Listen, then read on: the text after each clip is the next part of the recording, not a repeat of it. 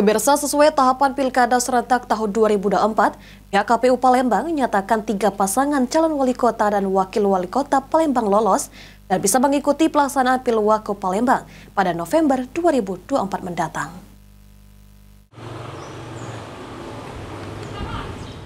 Sesuai dengan tahapan Pilkada serentak tahun 2024, pihak KPU Kota Palembang melaksanakan penetapan paslon wali kota dan wakil wali kota Palembang di kantor KPU Kota Palembang pada Minggu 22 September 2024. Ketua KPU Palembang, Syawaludin, mengatakan, dalam penetapan ini, ketiga paslon wali kota dan wakil wali kota Palembang, yakni Yuda Bahar, Fitri Nandri, dan Ratu Dewa, Prima Salam, dinyatakan lolos. Tahap selanjutnya akan dilakukan pengundian nomor urut paslon pada 23 September 2024.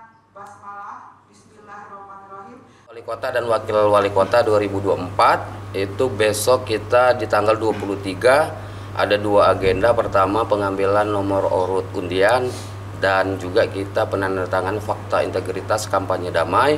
Di tanggal 25 itu itu sudah uh, start hari pertama untuk kampanye.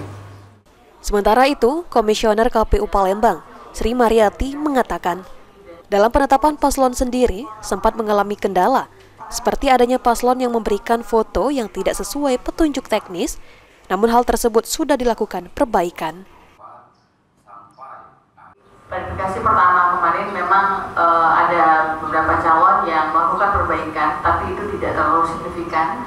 Hanya ada e, perbaikan di foto ya, karena pada saat itu ada beberapa foto yang tidak sesuai dengan yang dijuknis. Jadi seharusnya latarnya putih, mereka melampirkan dengan foto latar merah. Jadi itu yang harus diperbaiki. Anugerah Sandi Pratama, PAL TV.